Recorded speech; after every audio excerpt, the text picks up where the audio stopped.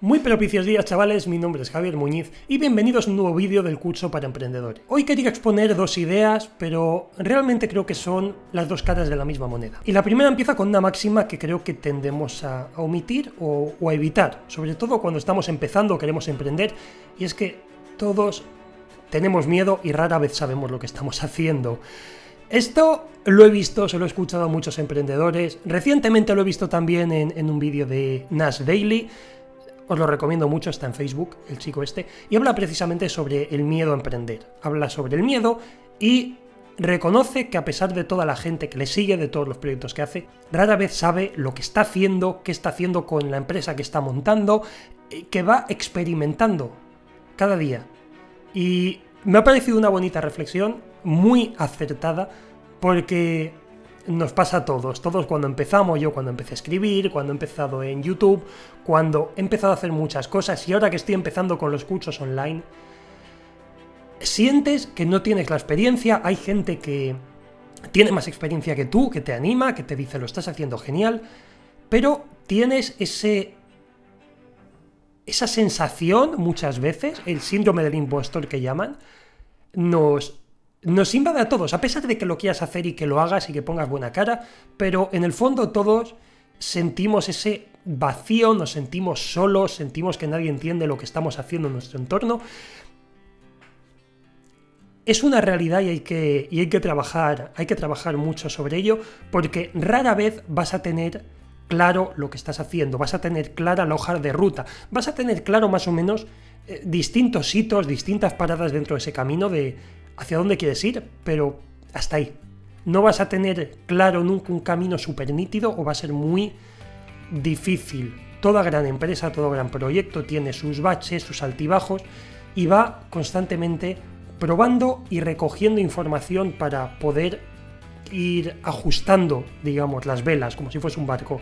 Tenemos que ir ajustando las velas al viento y eso es lo primero que quería compartir con vosotros.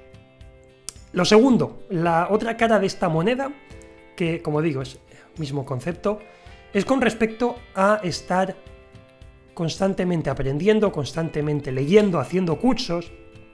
Y aquí un matiz, me permitís un matiz. Y es que creemos muchas veces que leyendo mucho, haciendo muchos cursos, vamos a, a mejorar un montón. Y es cierto, se mejora mucho, pero muchas veces pensamos que, es la panacea esta información. Y desde mi punto de vista, en el momento que alguien ya ha podido testear o probar una idea, tener el tiempo para desarrollarla, entenderla bien, escribir un libro o hacer un curso, es que esa idea ya puede ser vieja, puede haber cambiado.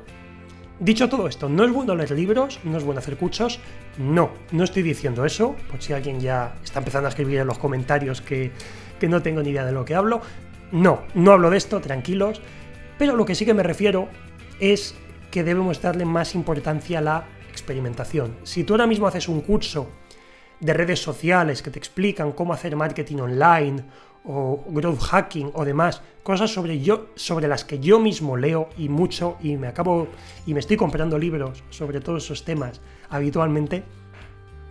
Está genial, pero no pienses que es la panacea, no pienses que hay que seguirlo literalmente, porque el componente de experimentación es capital. El que llega primero en un negocio, en una idea, el que desarrolla una técnica específica para vender, para crear algo, eh, como dicen, quien golpea primero golpea dos veces.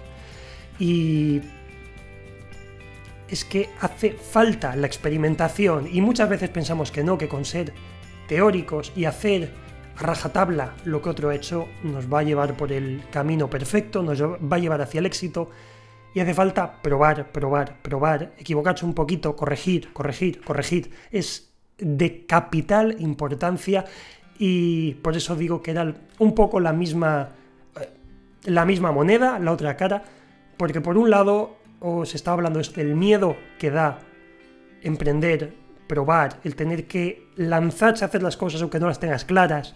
Y precisamente es eso, esa experimentación de la que os hablo, de no creer todo a pies juntillas, ni lo que yo os digo, ni lo que os diga nadie, porque la experimentación propia es lo que tenéis que buscar día a día y por eso es tan importante el empezar hoy, que siempre digo, empieza hoy, no tienes mucha idea, da igual, empieza tu proyecto, ve corrigiendo sobre la marcha, no te arruines en el, en el proceso, no inviertas cantidades ingentes de dinero, empieza con poquito, empieza haciendo algo, pero experimenta, porque al final es lo que te va a dar esa sabiduría y esa capacidad de, de crear, porque con el tiempo vas a conseguir el éxito.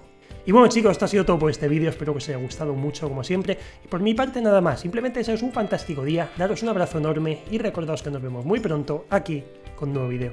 Chao.